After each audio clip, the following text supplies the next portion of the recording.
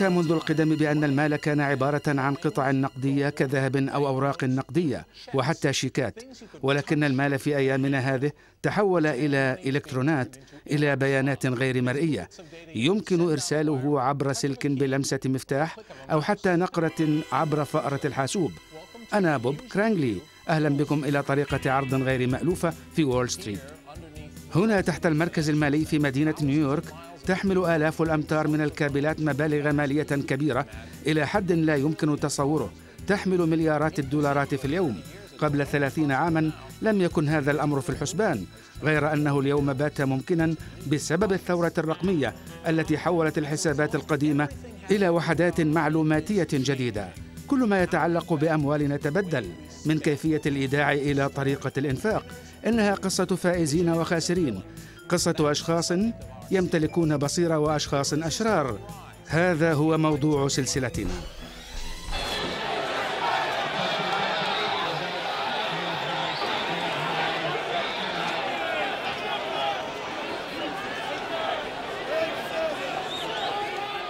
لأكثر من قرن كان التجار في قاعات المزاد الإعلاني وقاعات تبادل السلع التجارية في شيكاغو يستخدمون رموزا ذات سلطة قوية في الأسواق المالية. رفع اليد والإشارة في الإصبع والصفقات التي تبلغ آلاف الدولارات كانت تنجز في لحظات. إنها الرأسمالية في أوج ذروتها ولكنها لم تدم لفترة طويلة. في بقية أنحاء العالم دفنت قوة الحواسيب والشبكات الرقمية أكواما من هذه الحفر في خردة التاريخ. حتى وقت قريب كانت هذه طريقة التداول في بورصة لندن الدولية المالية التي كانت أكبر بورصة من نوعها في العالم. عمل فيها أكثر من ثلاثة آلاف تاجر. وكان يستغرق الانتقال من قاعة التداول إلى القاعة الأخرى أكثر من ثلاثين دقيقة. ولكن قاعة التداول اليوم تفككت والتجار انصرفوا وموقع التبادل فقد. وأصبحت التكنولوجيا الحديثة في أيدي المنافسين تعني الموت المحتم.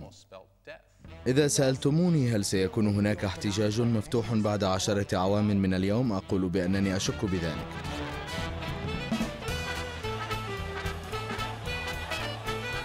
لسنوات طويلة كان التعامل في الأسهم والسندات نشاطا حصريا. كان امتيازا لقلة من الأشخاص الذين كانوا ينتمون إلى عالم البورصات. كانت البورصة عبارة عن نادي وكان الأثرياء يعملون داخلها ومن خلالها ومعها. كانت كالنادي.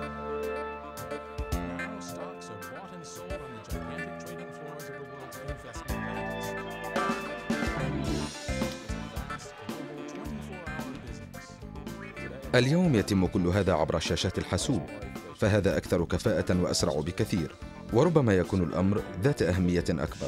الحجم الهائل للمعاملات المالية اليوم يكاد لا يصدق. لا داعي لأن تملك شركة الملايين لكي تتمكن من الانضمام اليوم.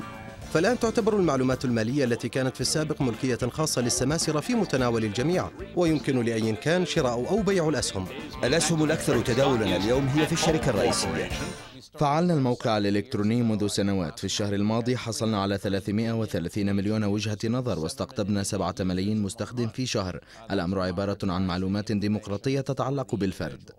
يمكنك التزود بكم هائل من المعلومات ويمكنك الرد عليها في أي لحظة. أتذكر متى بدت المصارف على هذا الشكل؟ كان ذلك قبل فترة قصيرة جدا. كانت الأسهم تفتتح لبضع ساعات يوميا في المصارف. وكانت اختبار تحمل للتمكن من الحصول على أموالك الخاصة اليوم الصراف الآلي والحاسوب يمكناننا من الوصول إلى حساباتنا المالية على مدار 24 ساعة يوميا وعلى الرغم من أننا مغرمون بالشيكات غير أن هذا الأمر في طريقه إلى التبديل ببطاقات الصراف الآلي والخدمات المصرفية عبر الإنترنت نقدا؟ أه نقدا؟ أه أنا أه. شكرا لك كلينك. شكرا لعدم الغرق في الفساد في نهاية المطاف. بالعودة إلى الستينيات قد تكون التقارير عن انقراض الأموال النقدية مبالغا فيها. ولكن بعد أربعين سنة والمليارات من البطاقات المالية استولت مادة البلاستيك على كل هذا. ربما لم نتوصل إلى أن نكون مجتمعا خاليا من القطع النقدية ولكننا نستخدمها بشكل أقل. بطاقات الائتمان حررتنا من تحويل الأموال النقدية. العلماء في مقرات إمبراطوريات عالم البطاقات البلاستيكية لديهم آمال كبيرة لاختراع بطاقات ذات ذكاء أشمل وأوسع. إنها عبارة عن شريحة معلوماتية موجودة على البطاقة فنحن نتحدث هنا عن حاسوب على البطاقة. عندما أصبح الهاتف الخلوي جهاز كمبيوتر لاسلكي أصبح بإمكاننا استخدامه للوصول إلى حساباتنا واستبداله ببطاقات الائتمان الخاصة. في بعض الأماكن أصبح الهاتف الخلوي أهم من المال. افتح محفظتك. وأخبرنا ماذا يوجد فيها. أصبحنا نستطيع تحميل أرقام جميع البطاقات البلاستيكية على هاتفك النقال. يمكنك الاحتفاظ بالبطاقات البلاستيكية. ولكنك في الوقت عينه الرغب تحصل على نسخة للأرقام داخل الهاتف. وفي أكثر قليلا من جيل حدثت ثورة في المؤسسات المالية القديمة. فقد تبدلت طريقة الشراء والبيع وكذلك المؤسسات المالية التي تجعل عملية البيع والشراء ممكنة. ولكن الأكثر أهمية الآن أن هذه التبدلات أثرت بشكل مباشر على التجارة العالمية. هل هذا جيد أم سيء؟ ابقى معنا وستكتشف ذلك بنفسك ولكن دعنا نبدأ من البداية. منذ زمن استند فيه المال العالمي على قيمة معدن واحد ثمين فقط.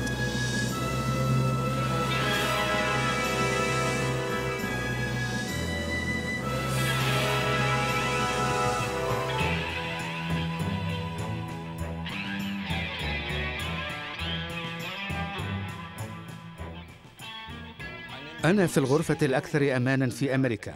لن تتصوروا ما الذي احتجت إليه للدخول إلى هنا. ولماذا؟ الذهب. القيمة السوقية لهذا الشريط مئة ألف دولار. قيمة هذه الكومة تساوي أكثر من 640 مليون دولار. هناك نوعان من الخصائص المميزة يحولان الذهب إلى عملات معدنية. من النادر أينما كان إلا في هذه الغرفة. وهذا يعني بأن الذهب يحتفظ بقيمته. إن العملات الذهبية تدوم إلى الأبد وعلى مدى ألفي سنة كان المال مصنوعا من الذهب أو مدعما به. هل أستطيع وضع هذه في جيبي؟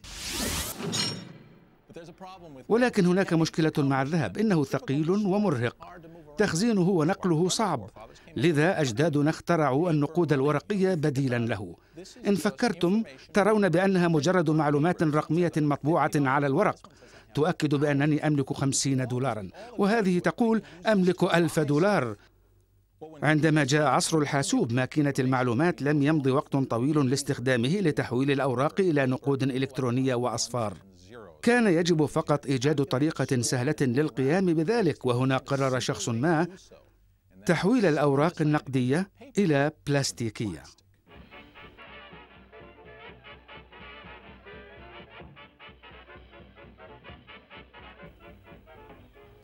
نيويورك عام 1949 أحيانا تحصل الاختراعات بالصدفة. اكتشف نيوتن قوة الجاذبية لأن تفاحة سقطت على رأسه. وتم اكتشاف البنسلين لأن العفن ظهر في طبق الدكتور فليمنج وعام 1949 نسي رجل يدعى فرانك ماكنامارا محفظته. فحصلنا على بطاقات الائتمان. بدأت القصة عندما قرر ثلاثة رجال أعمال تناول الغداء. قام فرانك ماكنمارا بتبديل سترته في ذلك اليوم ونسي المحفظة في السترة القديمة. وعندما وصلت الفاتورة لم يدفع الحساب. فكر ماكنمارا وشركاؤه ببطاقة ائتمان لاستخدامها في مطاعم نيويورك. وفي غضون سنة صدرت أول بطاقة باسم Diners Club Card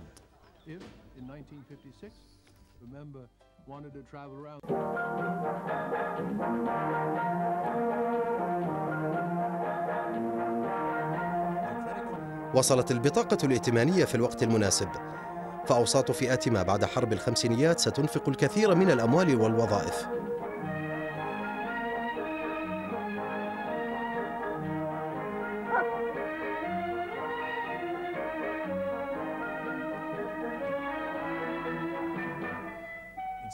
فبدلا من الدبابات كانت المصانع قد بدأت بإنتاج السيارات والمحامص والتلفزيونات.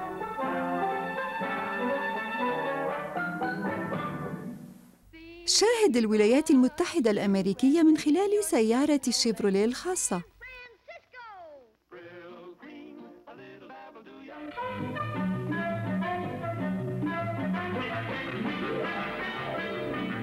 كان هناك عالم جديد من الأشياء التي يمكن شراؤها وأي شخص عاش في تلك الحقبة سيذكر بأن الأمر لم يكن سهلا كما هو عليه في أيامنا هذه. كانت المصارف تفتح أبوابها من الساعة العاشرة لغاية الساعة الثالثة بعد الظهر خمسة أيام في الأسبوع. وإن أردت أن تصرف شيكا كان عليك الذهاب خلال ساعة الغداء لتقف في طابور طويل وقد تقضي ساعة الغداء محاولا صرف هذا الشيك. كانت هناك ضغوطات كبيرة من مجتمع التجار مفادها أنهم بحاجة إلى وسيلة ملائمة وأفضل للقيام بالأعمال التجارية لا تعتمد فقط على التعامل بالنقد والشيكات. هذا خطر عليهم. ولمواصلة التوسيع أعرب المجتمع المدني عن حاجته لطريقة جديدة تمكن الناس من شراء حاجياتهم. وقد أعربوا عن حاجتهم لبطاقة تمكنهم من شراء ما يريدونه.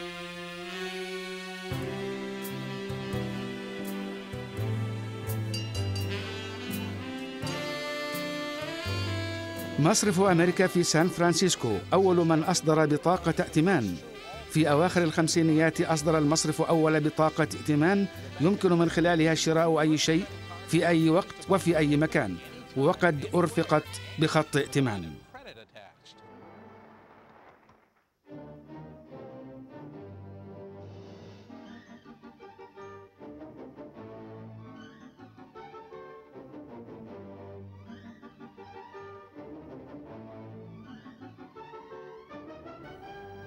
غير أن إطلاق تجارة بطاقات الائتمان لم يكن أمرا سهلا. كيف يمكنك حمل التجار وحاملي البطاقات على تسجيل العضوية؟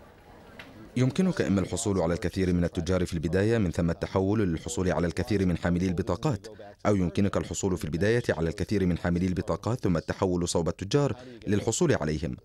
قرر المصرف الحصول على حاملي البطاقات وذلك بأن تضع داخل الرسالة البطاقة البلاستيكية. سترتك غير مناسبة. ماذا تفعل؟ هذه محفظتي؟ لديك بطاقات ائتمان كثيرة. ما الذي تفعله؟ توقف. تفضل. أيها ال... حسنا هذا كل ما تحتاجه. ما فعلوه هو إرسال كل هذه البطاقات. في الواقع وصلت البطاقات إلى شتى أنواع الناس غير أن المصرف لم يكن يعلم مخاطر بطاقات الائتمان وهذا ما أدى إلى الكثير من المشاكل.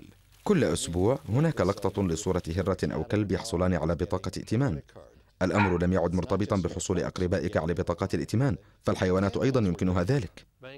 ساهمت المصارف في إغراق جميع أنحاء الولايات المتحدة الأمريكية بالملايين من البطاقات دون أي آلية.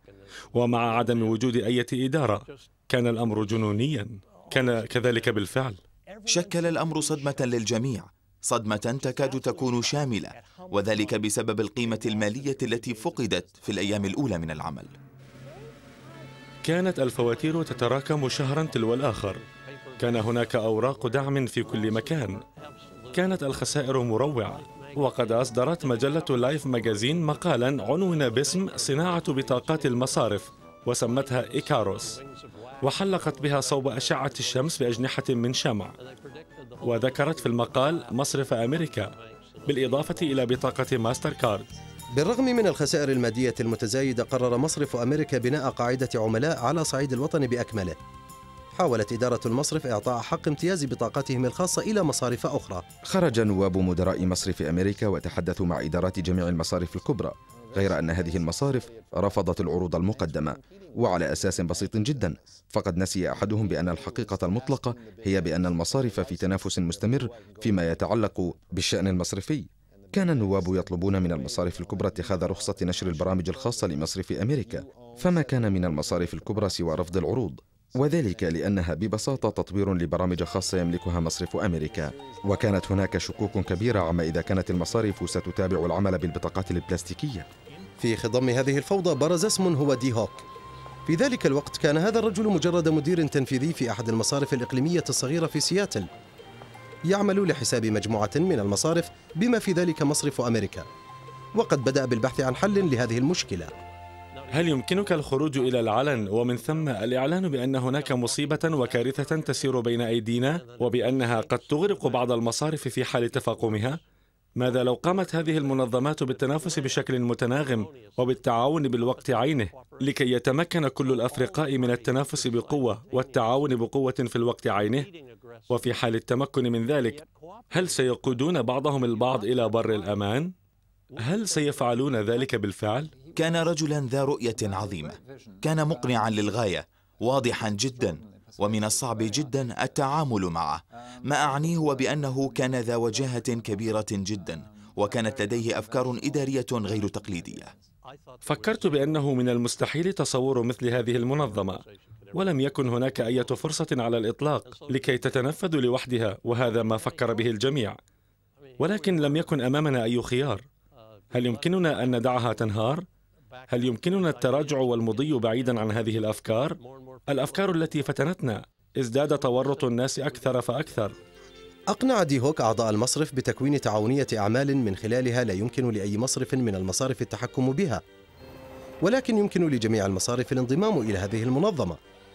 يحق لكل مصرف إصدار بطاقته الخاصة ولكن الهيئة الوطنية هي التي تسيطر على شتى أنواع المعاملات. ولكن الفرق الكبير هنا يكمن في تملكهم بشكل مشترك للبرامج بحيث أن المصرف الواحد لا يمكنه السيطرة المطلقة على البرنامج بل بالمناصفة مع المصارف الأخرى ويمكنه التعامل مع منافسيه على هذا الأساس. خطة هوك العملية تم اعتمادها أخيرا وتم التصويت له ليكون الرئيس الأول للشركة. بالرغم من المعارضة الشديدة غير أنه بدأ بإقناع أعضاء المصارف لتبني الاسم الجديد ألا وهو فيزا. كانت لديهم استثمارات ضخمة وكانت لديهم أيضا أسماء مصارفهم ملتصقة على أبواب التجار. لذا كان لديك شيء واحد. إن ما فعلناه ببطاقة فيزا على مدى كل هذه السنوات هو أن نكون رائدين في هذا المجال. كان علينا فعليا مواجهة معارضة بنسبة 80 إلى 90% تقريبا. تبديل الاسم كان مجرد بداية. أتذكرون عندما كان البائع في المحلات يقوم بإجراء مكالمة لمعرفة إن كانت البطاقة التي تحملها صالحة ثم يقوم بتمريرها عبر ماكينة خاصة. إنه نظام تفويض تكنولوجي فائق. إن 100% من المعاملات لا تزال تمرر عبر جهاز خاص. وفي هذه المرحلة قلنا بأنه من الأفضل أن نقوم باستبدال هذا الجهاز بمحطة نهائية. هذا أفضل للجميع. كانت بطاقة فيزا بحاجة إلى طريقة سريعة للقيام بعمليات البيع وتسجيلها. تطلب ذلك بناء شبكة إلكترونية تربط بين العملاء والتجار والمصرف الذي أصدر البطاقة. كنا نقوم بتطبيق تقنية جديدة للصناعة التي كانت تعتمد على الأوراق ولم يكن هناك أي خبرة مسبقة أو معرفة مسبقة. لقد بدأنا بأول نظام تفويض كامل بعد أن قمنا بالتجارب. واعتقد بأنه في أقل من تسعة أشهر تم التداول بمبلغ يقدر بمليون ونصف المليون دولار أمريكي من قبل شركات مختلفة. وقد قيل بأنه من المستحيل النجاح في القيام بهذه العمليات وقد جاءت في الوقت المناسب. قامت كل بطاقة فيزا وماستر كارد بالاعتراف بأهمية تقنية الحواسيب وقد قامتا بتطويرها بشكل كبير للغاية وذلك لمعالجة مليارات ومليارات المعاملات التي تجري ما بين ملايين الزبائن من جهة وملايين التجار من جهة أخرى. كان هذا مهما جدا ولم يكن يستطيع الإنسان العادي فعله. الحاسوب كان مهما. إن أحد أهم الأشياء التي ساهمت في انتشار صناعة بطاقات الائتمان هو جهاز الرمز البريدي الخاص. ففي الثمانينيات كان هذا الجهاز ضروريا وفي التسعينيات أصبح محصورا. كان واضحا لهوك أن نجاح فيزا كان يعتمد على انتشارها في جميع أنحاء العالم وهذا يعني إدراجها في مصارف العالم أجمع. في البداية كانت هناك مقايضة ومن ثم بدأ التعامل بالقطع النقدية ومن ثم بالعملات الورقية. فاستنتجت بعد ذلك بأنه إذا تم استخدام الإلكترونيات هذه الصناعة العالمية ستحول المال إلى مجرد بيانات رقمية على شكل ترتيبات الإلكترونيات والفوتونات. وبأن هذه ستنتقل حول العالم بسرعة الضوء وبتكلفة ضئيلة جدا من خلال مسارات لا يمكن حصرها في الطيف الكهرومغناطيسي لم أكن متأكدا لو سألتموني إن كانت هذه الصناعة ستصل إلى صناعة بقيمة ثلاثة تريليون دولار أمريكي عام 2000 ولكن لم يكن هناك أي شك من نجاحنا وكان السؤال الوحيد آنذاك ما هي القيمة المالية التي سنبلغها؟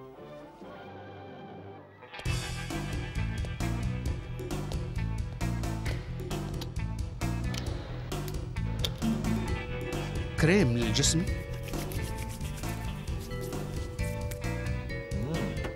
حسنا. مرحبا لدي أوراق تغليف رائعة. أخبريني عن ذلك. ما الذي حدث؟ هل لديك أقداح كهذه في المنزل؟ أنا أحب ذلك. هذا عظيم.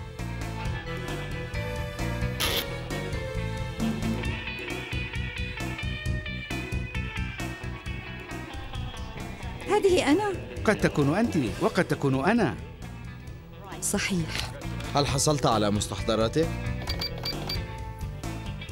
هل تأكلين هذا كل الوقت؟ نعم كل يوم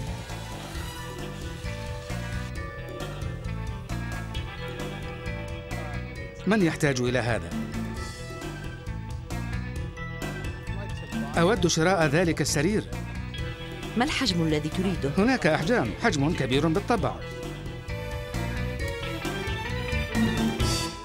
هل هناك مشكلة؟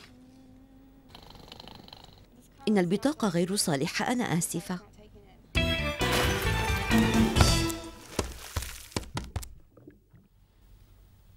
تفضل القهوة. أهلا وسهلا. شكرا. هذه بطاقة فيزا. شكرا.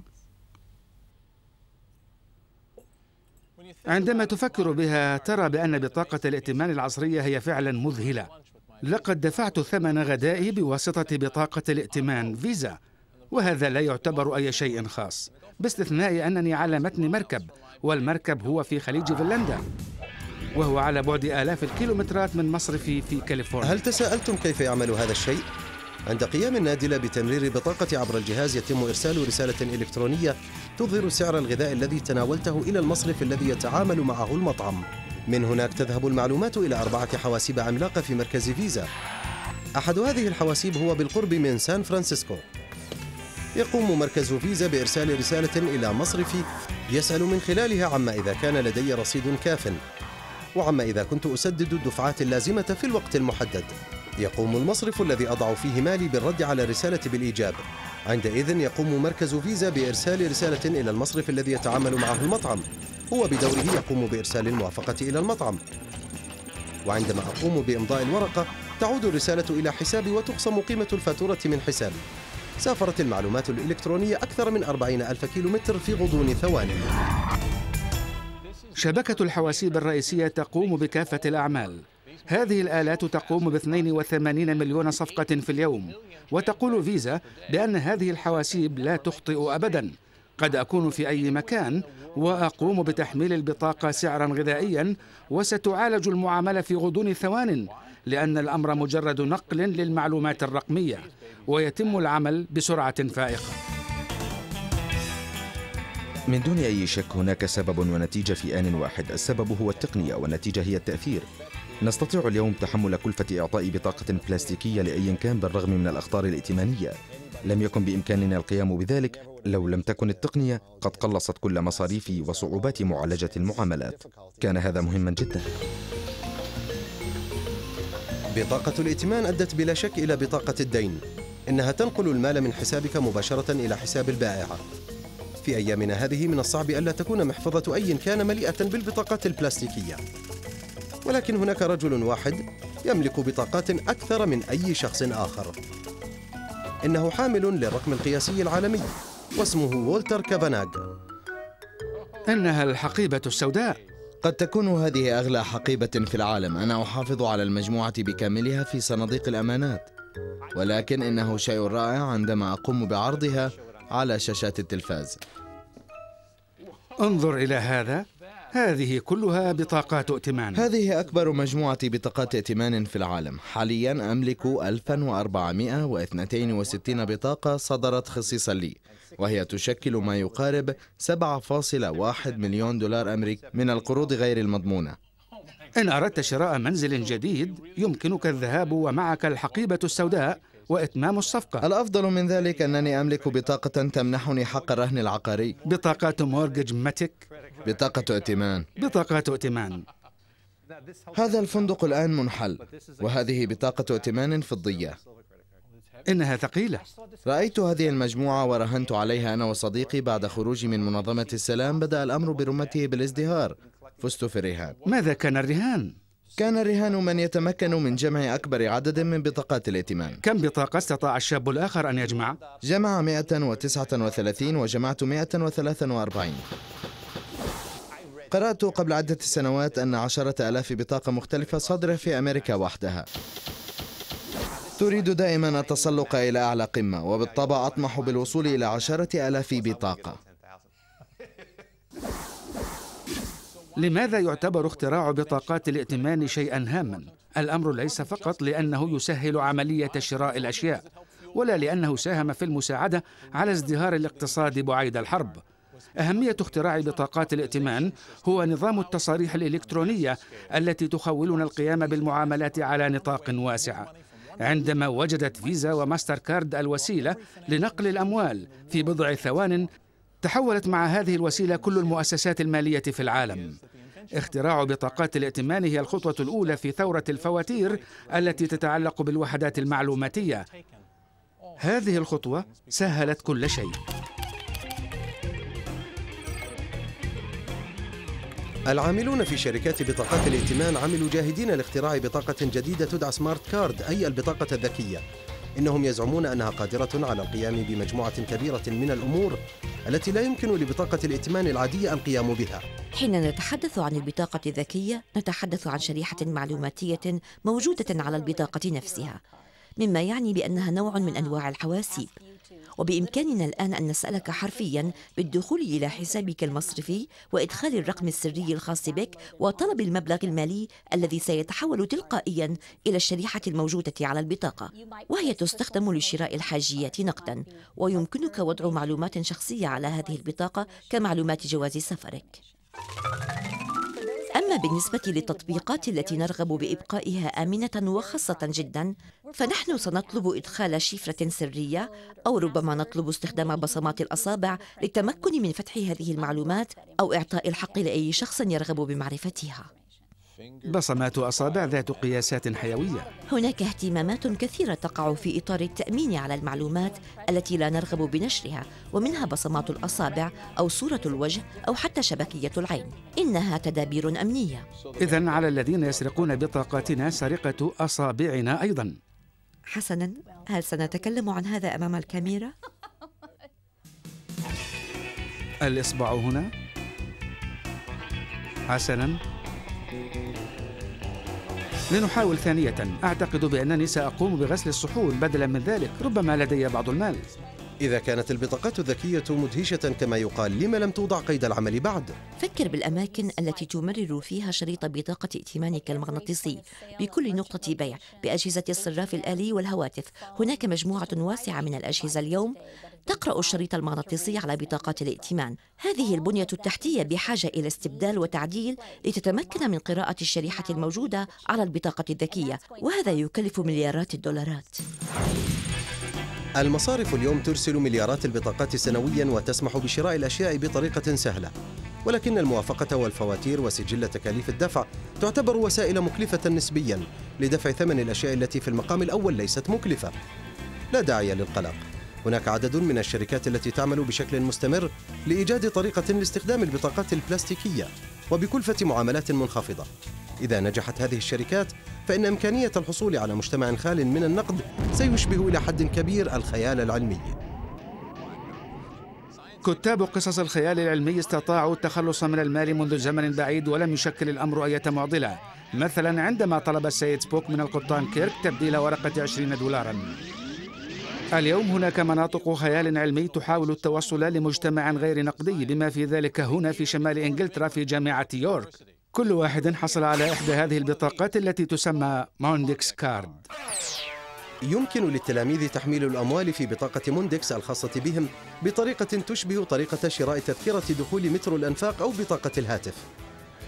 ثم من الناحية النظرية على الأقل لم تعد بحاجة لحمل النقود. بطاقة موندكس اختراع المصرف البريطاني ويستمنستر الوطني وهو مملوك من قبل ماستر كارد. تيم جونز كان المسؤول عن هذا المشروع. المنظور الذي انطلقنا منه هو وجود عدد من النظم الرئيسية التي تتيح القيام بالمدفوعات منذ عام 1950 منها بطاقات التعبئة والائتمان والسحب الآلي. وعلمنا بأننا نعمل بها. فهي تتشكل من تكاليف ثابتة في داخلها وهذا يعني بأن الحد الأدنى لتكاليف المعاملة سيكون عبارة عن عدة بنسات وهذا يعني بأنها لا يمكنها أن تقوم بمعاملة تكلف 20 بنسا. كانت لدينا نظرية تقضي بأن تكون الجامعة خالية من المال النقدي وذلك لدواعي أمنية بصرف النظر عن أي أشياء أخرى. والبطاقات الذكية تقدم هذا الحل. ما أردنا تحقيقه في نهاية المطاف هو الحصول على بطاقة للمجتمع بأكمله. بطاقة يمكننا الانتفاع منها سواء في حاسوب المكتبة أو بطاقة تحكم في الدخول إلى المباني. بالإضافة إلى دفع ثمن السلع والمدفوعات من خلالها. بطاقة تجمع كل شيء وللجميع. لا إحساس لدي بالعاطفة. منطق محض فقط. هل هناك أي شيء يجب على التلاميذ استخدام البطاقة لدفعه هنا؟ مكان الغسيل. مكان الغسيل. بالضبط. تقنية لا تصدق. سابقا استخدمنا النظام الرمزي المميز وحولنا غالبية المغاسل في الحرم الجامعي إلى بطاقة موندكس فقط والتي يستخدمها الطلاب. هل تجدون أن الجسم الطلابي أنظف؟ آه لا تعليق. إذا غادر طلاب الحرم الجامعي واتجهوا نحو المدينة هل بإمكانهم استخدام بطاقة موندكس هناك؟ لا ليس في الوقت الراهن ولكننا أجرينا بعض المناقشات مع المكتبات وبعض شركات النقل العام.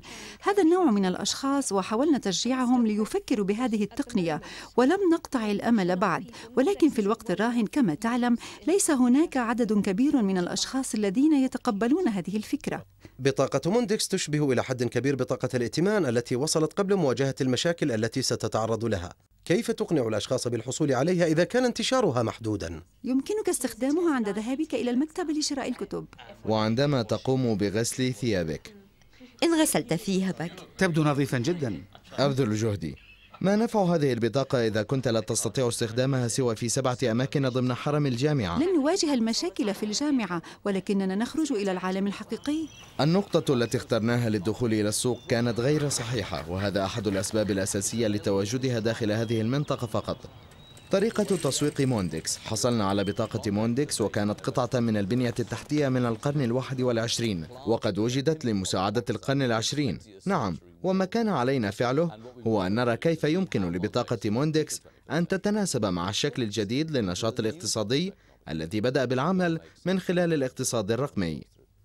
بما أن بطاقة موندكس يمكنها تحويل المال إلى أي شخص آخر لذلك يعتبرها جونز أنها الحل الأنسب لشراء السلع ذات التكلفة المنخفضة عبر الإنترنت.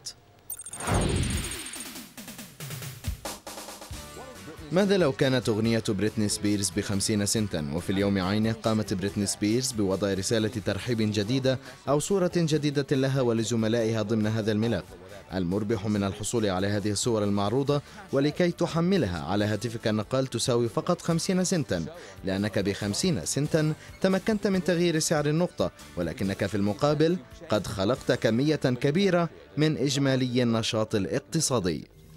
قلت لك بأنها مناسبة لمشروعي. أوه نعم. وهي بعشرين سنتا. 20 سنتا؟ وكيفية الدفع؟ سأستخدم بطاقة موندكس موندكس هل يمكنني ذلك؟ نعم يمكنك. الأمر ما يزال خيالا. الفكرة الرئيسية لإصدار بطاقة موندكس استبدال النقد أو بطاقات الائتمان للقيام بالمعاملات صغيرة النطاق. لكن الآن هناك تقنية جديدة يمكنها أن تجعلها أكثر جاذبية. حسنا لنستمتع. أعتقد أنه في وقت قريب ستقتنع باقتناء هاتف خلوي وسيقال لك الآن لديك هذا الهاتف الخلوي وعليه تطبيق جديد خاص به. ولكن إلى جانب ذلك لديك 25 ثغرة. الآن افتح محفظتك وقل لنا ماذا تحمل معك وسنقوم بتحميل أرقام كل هذه البطاقات البلاستيكية على هاتفك الخلوي. يمكنك الاحتفاظ بالبطاقات البلاستيكية ولكن لديك أيضا نسخة مسجلة داخل هاتفك أيضا ولديك هذا أيضا وتدريجيا أيهما أهم؟ خروجك من المنزل أم الهاتف؟ الهاتف. صحيح. ما يشرحه جونز يحدث فعلا في بعض دول العالم. أعتقد أنك لا تستطيع تخمين الدولة التي تملك أكبر عدد لمستخدمي الهواتف الخلوية.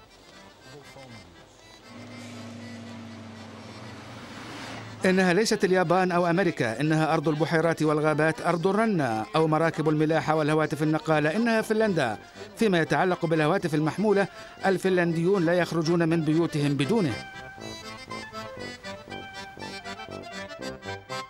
وفي حين لا يمكننا شرح تعلقهم بالهواتف النقالة نعلم بأن ثلاثة أرباع الفنلنديين يستخدمونها. هذا أحد الأسباب التي أدت إلى ازدهار شركة نوكيا أضخم شركة إنتاج هواتف نقالة في العالم.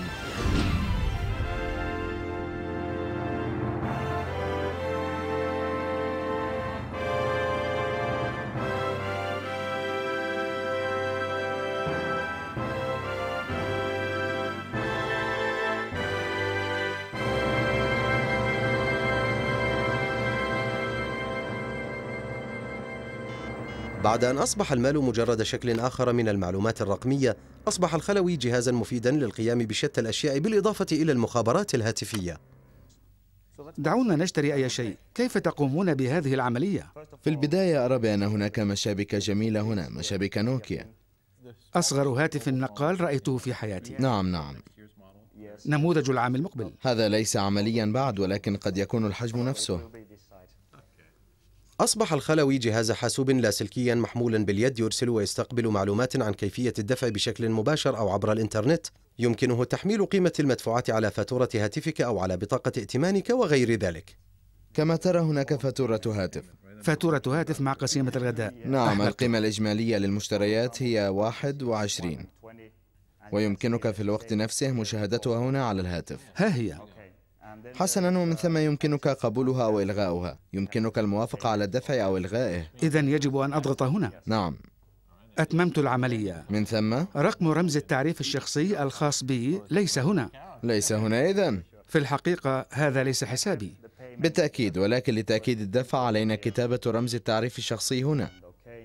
يبدو لي الرقم هو واحد اثنان ثلاثة أربعة. نعم نعم. إنه الرقم السري الذي يأتي مباشرة بعد صفر صفر صفر صفر. الآن تم الدفع وهذا إيصال الاستلام.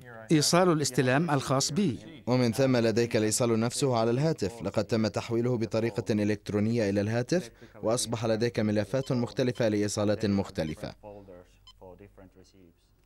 بما أن زبائنهم من مستخدمي الهواتف النقالة بغزارة طورت شركة سونيرا الفنلندية فرصة رائعة لتحويل الهواتف إلى آلات دفع كبديل للنقود. فكرة رائدة. سيبو فيهنن أحد كبار المسؤولين التنفيذيين في سونيرا شركة الاتصالات الفنلندية هل ستصحبني إلى موقع غسيل السيارات؟ نعم سيارتك بحاجة إلى الغسل صحيح اجلس واسترخي في السيارة ثم تناول هاتفك الخلوي أي نوع من هذين النوعين المخصصين للغسل ترغب بأن تختار؟ هل تريد الغسل العادي أم الغسل بواسطة الشمع؟ سأختار الغسل بالشمع حسنا لنضغط على هذا إذن والآن للتأكيد ستسمع صوتا يحدد لك بأن القيمة هي كذا وكذا. وبعد ذلك سيقبل طلبي بمجرد إغلاق الخط ومن ثم سيفتح الباب وسيقودنا إلى الداخل.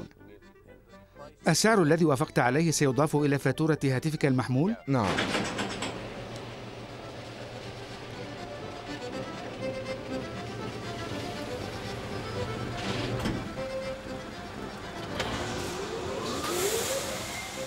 هل فكرت أن تغسل سيارتك برفقة كلبك؟ في الواقع لا. الكلب يظن بأن نهاية العالم قد اقتربت. لديك تطبيقات متعددة. هل لديك شيء مفضل؟ ربما آلة الوجبات الخفيفة. آلة الوجبات الخفيفة؟ نعم لديك منتجات مختلفة عديدة يمكن وضعها في هذه الآلة. أطلق العنان لمخيلتك وحاول أن تفكر ما الذي يمكن بيعه في هذه الآلات. حسنا. أنا مستعد. أشعر بأنني أصبحت أنظف. في فنلندا وفي فصل الصيف الجو لا يظلم أبدا. إذا لماذا لا نشتري كرات الجولف؟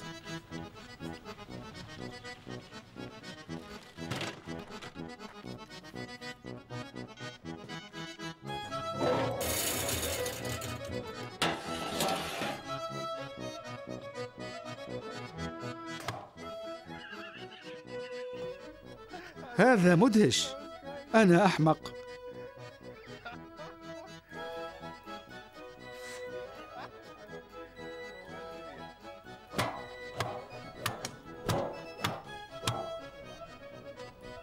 هل هذه ربطة أم شريحة؟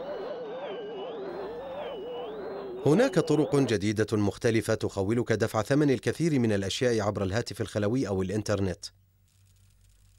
ولكن حتى وقت قريب لم نتمكن فعلا من إرسال الدولارات من شخص أو من عمل تجاري إلى آخر. ولكن هناك شركة في كاليفورنيا بدأت التفكير بهذه الأمور.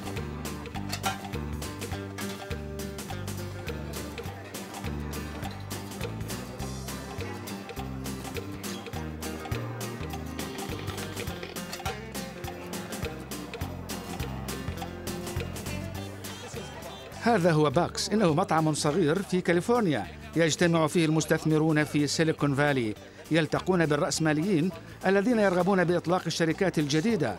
وهذا ما حصل مع ماكس ليفشن. كان ماكس في الغرفة الخلفية من المطعم عندما تلقى رسالة إلكترونية على هاتفه تضمنت الرسالة مرفقا بقيمة ثلاثة ملايين دولار. تعرفوا إلى ماكس ليفشن. إنه يعمل في مضمار الحواسيب في سيليكون فالي وتمكن من إيجاد طريقة لإرسال الدولارات عبر الإنترنت. ولد ماكس في الاتحاد السوفيتي السابق وعندما كان في السادسة عشرة هاجر مع أهله إلى أمريكا. كان ماكس أحد هؤلاء الأولاد الذين يظهرون موهبة متقدمة فيما يتعلق بالحواسيب وكتابة البرامج الإلكترونية. بعد الكلية سمع ماكس صفارات الإنذار في سيليكون فالي التي تناديه ثم قرر السكن في بالو ألتو.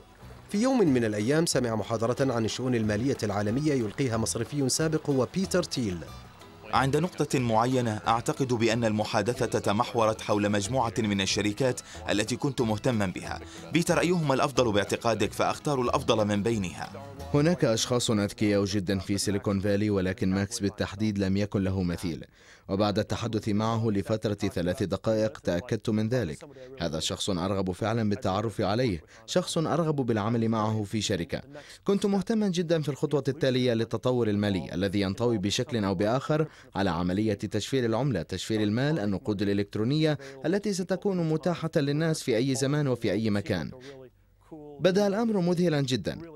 فكرة ذكية للغاية. شيء يمكنه أن يبدل نظرة وتفكير الناس لبعض الأشياء ولم يكن أحد يعرف طريقة تطبيقه. قرر ماكس وبيتر الاجتماع لحل هذه المشكلة. كان من السهل شراء الأشياء عبر الإنترنت. ما الذي سيحدث في حال عدم تمكنك من استخدام بطاقة الائتمان؟ ماذا لو أردت إرسال الأموال إلى شخص آخر؟ كانت هناك تجارب فاشلة كثيرة لاختراع طريقة دفع عبر شبكة الإنترنت لهذا الغرض بالذات كيف يمكن وضعها قيد الاستخدام؟ لا دليل على أن شقتك مأهولة صحيح كثيرون يقولون لي هذا الحد الأدنى من الأشياء بدأ ماكس وبيتر وعدد قليل من الأشخاص بالعمل في شقة ماكس السكنية. في أي وقت هناك أحيانا أكثر من عشرة ألاف شخص يحاولون كسب الأموال للشركات التي قد بدأوا بتأسيسها وهذا يعني بأن هناك ما لا يقل عن عشرة ألاف خطة عمل يتم التداول بها وربما 300 فقط منها يتم تمويلها من جهة معينة. توصل كل من ماكس وبيتر إلى فكرة تمكنهما من إرسال النقود عبر الإنترنت تماما كإرسال الإيميلات. وقررا تسمية هذه الشركة ب باي بال كانت الفكرة الأولى تقتضي بتشفير الأموال على بالم بايلوت والفكرة الثانية كانت تقتضي بتشفيره عبر الهاتف الخلوي. تطورت الفكرة وأرسلنا الأموال عبر البريد الإلكتروني. أصبحنا مثل ويسترن يونيون ولكن عبر شبكة الإنترنت. أقنع بيتر شركة نوكيا لتمويل باي بال وبعد إثارة ضجة إعلانية قرر كل من بيتر وماكس بأن ترسل شركة نوكيا الأموال عبر بالم بايلوت الخاص ببيتر والذي كان جالسا في الغرفة الخلفية من مطعم باكس. بالطبع.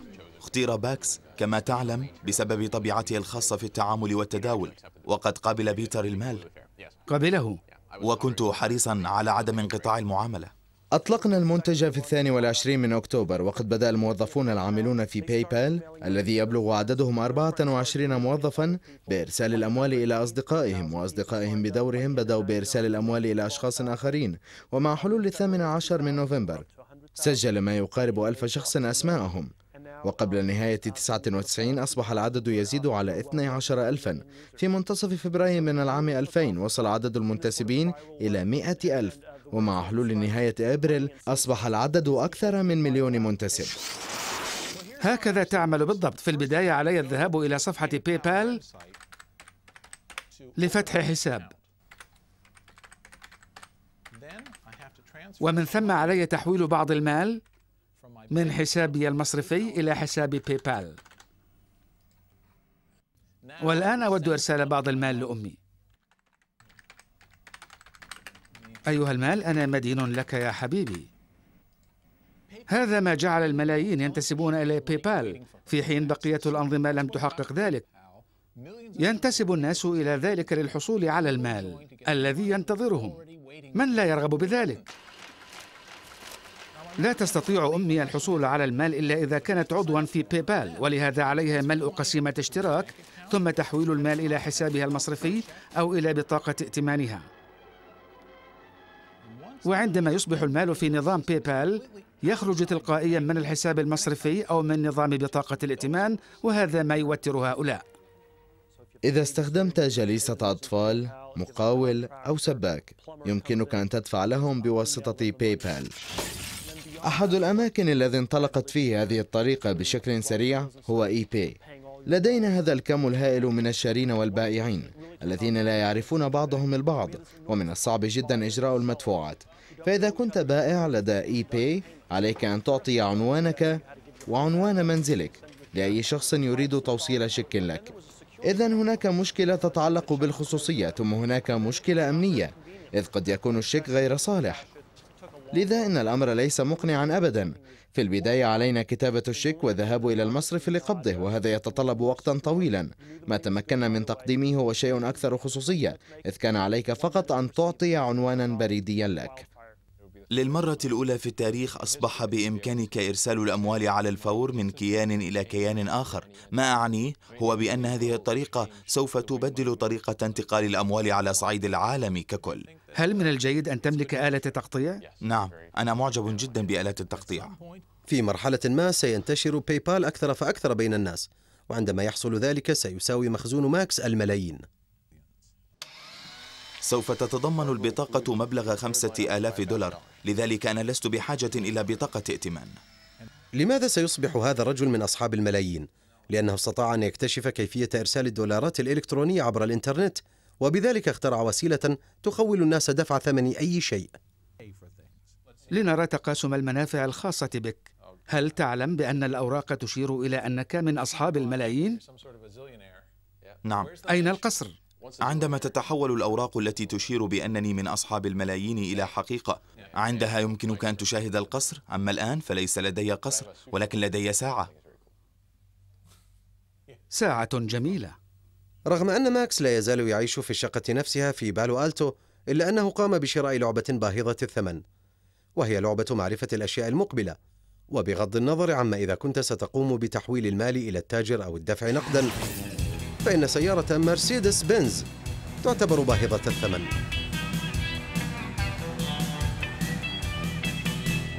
هذا مبلغ خمسين دولارا سأحوله إلى مديري التنفيذي الذي سيأخذه. لقد تحولت فواتيري إلى وحدات معلوماتية وتبدلت معها طريقة التعامل بالمال. الآن أصبح بإمكاني شراء أي شيء من أي مكان في العالم وفي أي وقت دون استخدام النقود. ولكن هل تعلمون بأن نصف تأثير التكنولوجيا الرقمية على التمويل في المصارف وصولا إلى أسواق الأوراق المالية يشبه إلى حد بعيد الثورة؟ وهذا ما سنراه في الحلقات القادمة